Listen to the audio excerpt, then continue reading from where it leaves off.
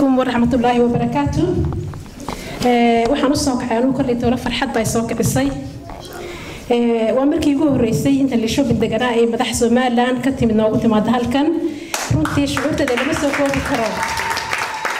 Aad baan u faraxsanahay. Taana waxaa noo suurtageliyay jaaliyadda iminka curdinka ah iyo ambasador sakariye timid waxaan rajeynaya inuu codkaygu gudbo ilaa madaxweynaha gaadho madaxweynaha somalilan wuu cusub yahay sanad muu buuxinin haddana sidaa ay tahay lix bilood uu dhaafay sanadkiiba u dhammaanaya. Marka intii aanu sugaynay inuu dee gudbo insha allah waqti waanu siinay.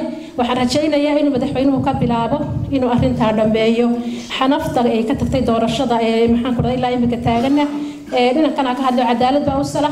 Laakiin waa inuu madaxweynuhu u kacaa oo loo istaagaa meeshii wax laga arko guldaloolo laga arko in la soo daboolo.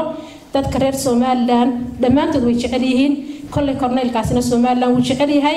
Oo wuxuu ka gaadhay korneyl inuu halgamina waan filayaa marka kolley cadho ayaa kaxaysay marka waxay dhici kartaa kolley haddii lala hadli lahaa waa la arki lahaa. Waxay noqon lahayd inuu maxaa la yidhaahdayay wax cadaalad darro la kulmay oon weli la hubsan waxay tahay.